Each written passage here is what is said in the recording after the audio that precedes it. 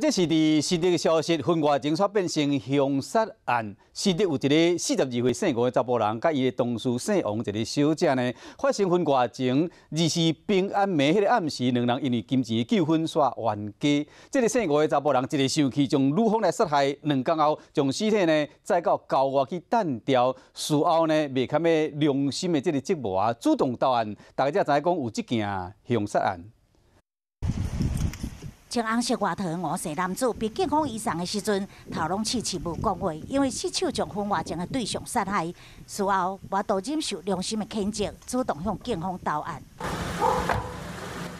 警方将嫌犯带往案发的第一现场，也就是五岁嫌犯住的所在，厘清案情。根据叶公司甲已经结婚的王姓女子是同事关系，对一段外情开始发展婚外情，但是五岁男子疑似欠王姓女子二十外万，被到处追讨。第二十时深夜，两个人可因为金钱纠纷发生口角，五岁男子一受气，用电击棒甲王姓女子电话关去了后，再去用棉被将伊挟死，两天了后带往郊区弹掉。本分局员警在今天六点半，带同无姓嫌疑人，在弃尸现场